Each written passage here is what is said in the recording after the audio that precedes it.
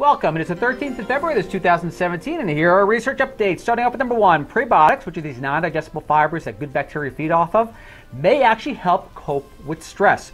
Researchers know that acute stress can definitely affect the gut microbiome. So by feeding the body prebiotics, they found that it promoted the beneficial gut bacteria that helps recovery from, of normal sleep patterns after a stressful episode, at least in animal models. Update 2 Green tea can have life saving potential for patients with multiple myeloma and Parkinson's and Alzheimer's disease. Previously examined effects of EGCG, a component of green tea, affecting both Parkinson's and Alzheimer's, found it prevented the dangerous buildup of protein in both diseases. The team had a similar conclusion in regard to bone marrow patients. The EGCG transformed these light chain amyloids as bad stuff, preventing the misshapen form replicating and accumulating dangerously in the body. Those are research updates for the 13th of February 2017. I'm Ralph Turchiano. See you again in seven days. Catch you then. Bye.